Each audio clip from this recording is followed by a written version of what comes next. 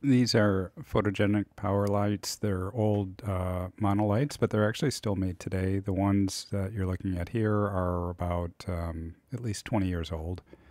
What I really enjoy about these is uh, how well they've been built. Um, so, in anything that you're going to take a look at here that you might think is metal is actually metal. Um, so, the housing is quite robust. The uh, bulb is a little bit unique as well. There are a couple of uh, different manufacturers that make bulbs like this, but um, the strobe itself eh, can be kind of a fragile item. And on some uh, monolights, uh, you'll find that the strobe can be exposed, which means when you're putting a modifier on or taking a modifier off, or if you bump into it, you know, there's there for some people there can be sort of this um, you know uh, amount of anxiety that you're going to break the the strobe. So the way these have been designed is there's actually a, a I don't know what it is plastic or plexiglass um, housing that is over the strobe itself, so you don't have to worry about uh, banging it or knocking a speed ring against it. Um, it's a really tough uh, surface that protects it. The other thing you'll notice is that it really sticks out from the housing of the strobe. And uh, the reason for that is supposedly the light not only shoots straight forward uh, out of the end of the strobe, but it also shoots out of the sides. So if you can imagine that a softbox is over this, then the light is going to be radiating, you know, kind of out to the sides as well as forward uh, to kind of, you know, fill the softbox, if you will, uh, from all different angles. Um, anyways, I uh, I'm a fan of them, and um, I really like the the robustness of them. The way these things are controlled, it's uh, pretty simplistic. Um, is uh, on the back, and on the back uh, there are some uh, two sliders. One slider is going to be to control the power of the flash, and the other slider is going to be to control the power of the modeling light. Um, the other notable things that you'll see on the back here is that there's a switch that allows you to turn on the modeling light. Um, there's also a switch that allows you to turn on the strobe. Um, in the upper left hand corner is a test button. Uh, immediately to the right of that, that little orange circle is the uh, built in slave. That built in slave is actually pretty powerful.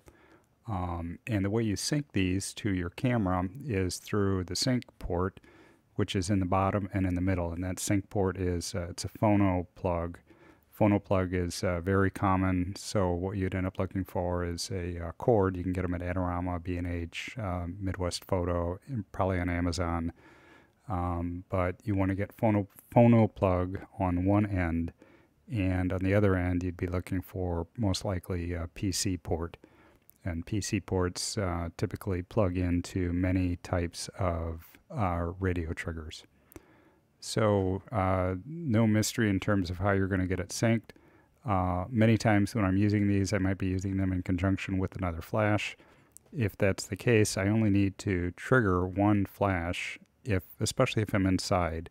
Uh, the slaves are um, sensitive enough that they'll fire on their own. In other words, if I have two of these set up and another flash maybe on my camera, um, and the flash on my camera, when it fires, it's indoors, most likely easily going to be able to trigger these. So that's a different way to get them triggered as well. Uh, a couple of other things to point out here while you're looking at it is um, immediately underneath the strobe, so be between the bracket that holds it to the light stand and the strobe itself is where you connect uh, your umbrella. And that's all metal it is uh, very uh, substantial, very sturdy, and um, it can actually take a really, really large shaft for an umbrella, which means if you have a larger umbrella, like a five or six foot umbrella, this, this type of mount you could consider using that for. Um, the way that you uh, can articulate the head up and down um, is pretty secure as well. There's actually the handle on this is a ratcheting handle so that makes it easy to, when you get into an awkward situation, uh, to pull it out and adjust it and get it to go, you know, as tight or as loose as you want. Uh, finally, on the bottom, there are two screws. One is a kind of a set screw that you can tighten with a screwdriver if you need to, but the main one you're going to be using is the knob. And why that is nice is because if you take a look at the top of a lot of light stands, the the area that you want to secure the um, the pin into is it, it, can be at different spots on different light stands. So between these two types of uh, positions that you can put the, the, the main knob, you can you can get it to work with uh, you know with your particular light stand. Uh, this strobe also has another, uh, at least the one I have, has another unique feature, and that's um, something called a power light uh, remote control. And th these were used, uh, I think Paul C. Buff used them on some of their older uh, White Lightnings. Um, and uh, what it allows you to do is it allows you to control both the flash as well as the modeling light intensity. So the the same settings that you would have on the back of the individual strobe are available to this. This uh, remote is tethered, and the way it's tethered is through a, a CAT, and I use a CAT 6 cable, but um, if you're not familiar with these, those are the cables that go between uh, uh a computer router and, and your computer. Um, sometimes you see them in a work environment or you know some homes like for example will will use these if you want to hardwire a computer directly into your modem or router um, it, it, looks an awful lot like an old telephone wire but the old telephone wire is not what you want to go for you want to go for uh, cat wire um, cat and in this case i use a cat 6 um, they're come in all different lengths and they're not you know it's very inexpensive. Um, and so the reason I like this remote is because a lot of times I will position these uh, strobes above my head. And if I want to make fine adjustments after positioning the strobe above my head, then uh, I don't have to get on a step ladder or get on a um, uh, you know, any kind of seat or stool or, um, you know, something to give me some advantage to be able to look at the back of the, the unit and make the adjustments.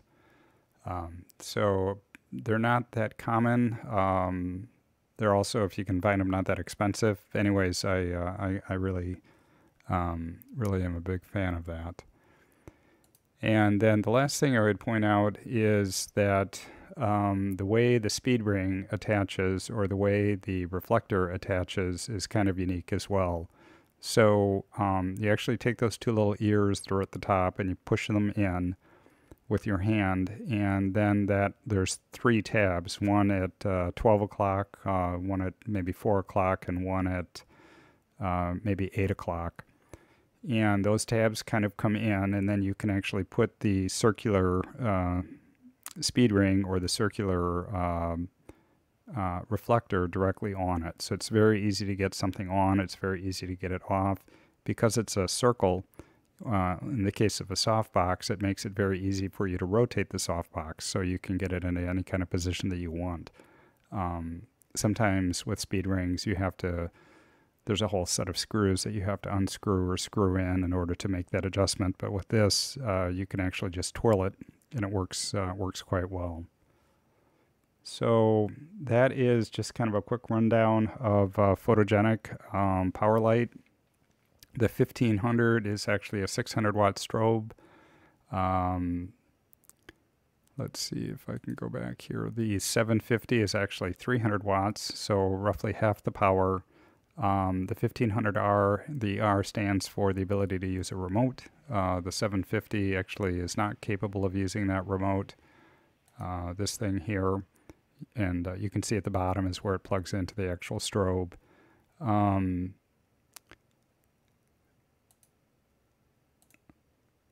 Uh, I like the the very robustness of how the thing is built. Uh, these these would have been made in uh, Youngstown, Ohio. Uh, currently, Photogenics is um, uh, based just out of Chicago, so they're still manufactured. You can still buy them new, um, but you know the used ones. These things don't wear out, um, so uh, you know getting them used can actually be a, a fairly cost-effective solution. Uh, a lot of people aren't going to be interested in them because they like automation. A lot of people may not be interested in them because they're a little bit heavy. People may not be interested in them because you can't really use them remote unless you have um, uh, some sort of outside battery system. Those aren't hard to get, um, but it's certainly not as convenient as having a battery built into your, uh, you know, a lithium ion battery built into your strobe. So again, a big fan, and uh, just trying to spread a little bit of information about these. When I got my first set, uh, there really wasn't much uh, to go by, so I'm just trying to share some of my thoughts and hopefully help people out.